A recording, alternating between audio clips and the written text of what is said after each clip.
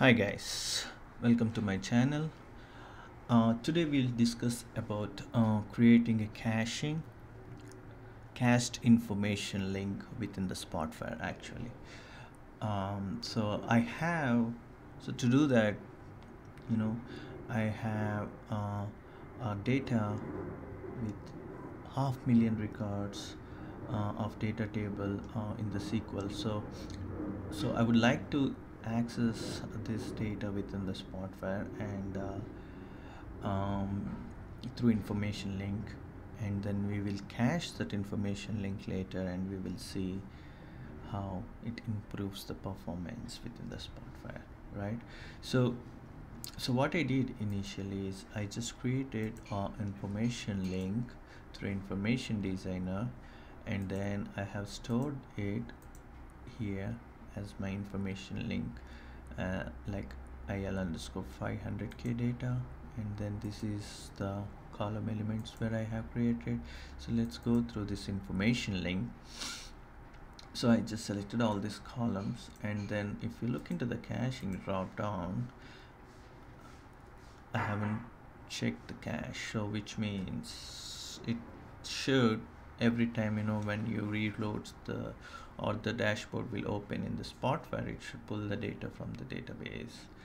Um, so let's see the logs without using the cache and then we will see the logs after using the cache and we can so that we can understand that like in which version of the information link we are getting data from database and the other one is from the cached version of information link right? So let's see that okay so I I just loaded this data into the Spotfire you look into this guy here and then the path which is coming from this. So we will just reload this.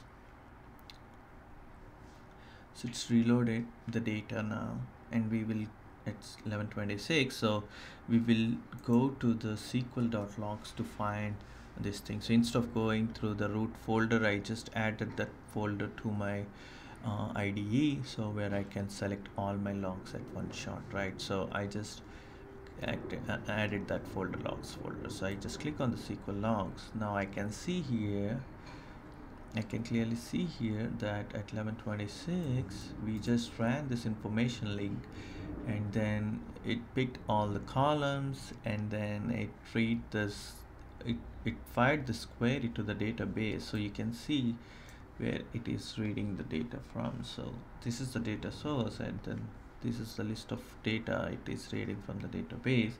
And it took 2.42 seconds to fetch the data into the Spotfire so this is the actual log without using the cached version of the information link. So first let me delete this one right now you know for the better understanding. So I'll just deleted this and there is nothing in the SQL log even if I open right now nothing because I haven't reloaded any of the dashboard I haven't refreshed anything right? So let me um let me let me go back to the information link and then change the information link cache option. So I want to cache this information link right here and then I'm going to set it up for 7200 which is two hours so this cache will gonna expire after two hours okay?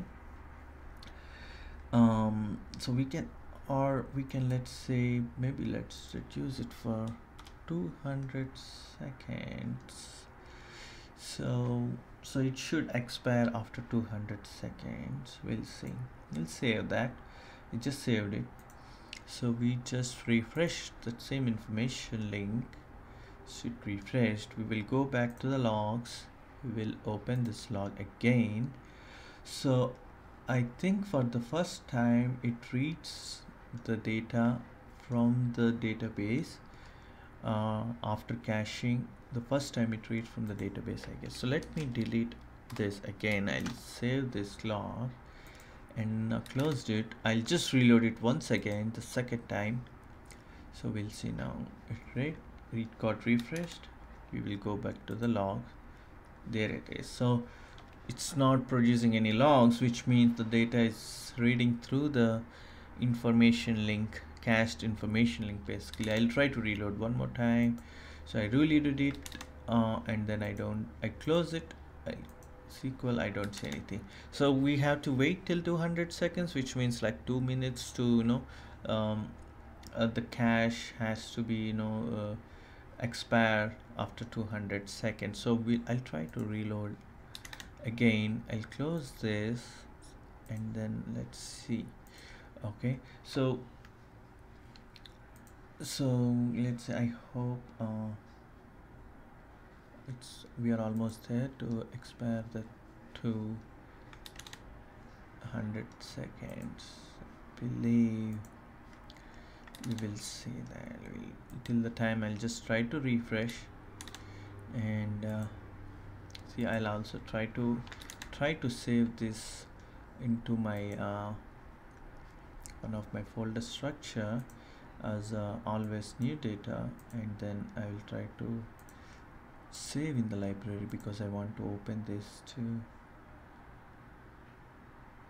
want to save the changes. Now I would like to save this within my folder of my new folder.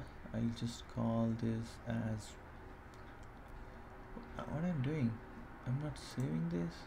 I'm trying to open this. Okay. Save as my library item. Right? And then I just go to this new folder. I'll create a new folder here. I'll call it as reports. And then I'm going to save this data. Finish. Okay? So it got finished. So I'll just try to open this within my uh, web player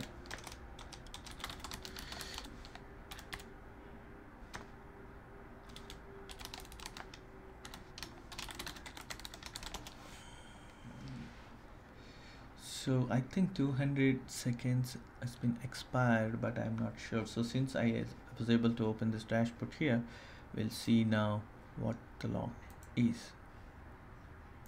Cool. It's it should be right? So that's the idea of this report that's the idea of caching right? So let me give it try one more time. Uh, we'll open it once again. It's 32 second 32 minutes so I think it's uh, and then we will open. Not yet.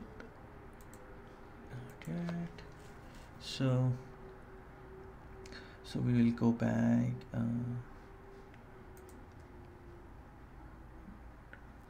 oh my god it's 200 seconds. Like I think we need to wait for five more minutes mm, that's long way right? So I should have set it up for 60, 60 seconds. It would be would have come by right now. That's my bad.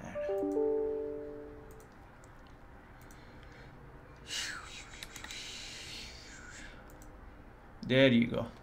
So the the moment the 200 seconds got expired so again the, it started pulling the data from the database. So it's up to your requirement based on your requirement. The, the, i mean like for me i'm going to use the same data source for multiple um, the same information link for multiple dashboards. So it's for me it's wise to store this information link as a cached and one more requirement for me is like basically i'll get the data refresh on every week. So I would like to set up this timeout for a week. So so when user opens this report in the within the client not in the web player I would have done the schedule schedule um, caching if I would like to do this thing within the web player. But here I'm trying to open within the client all these dashboards. I need performance definitely good performance for all this dashboard so so this will be really useful in that case. So also like you know there's a one note uh, so in case if you guys are using any kind of personalized information link or you guys are using this as a data on demand so definitely this is not a good idea to use uh, cached information link because the data has to be fetched every time you know uh, whenever you based on the marking what in your uh, uh, data on uh, demand so the data has to be fetched from the database so, make sure that your information link is not cached at that time so so that's it. So if you have any questions just let me know. Thank you. Good day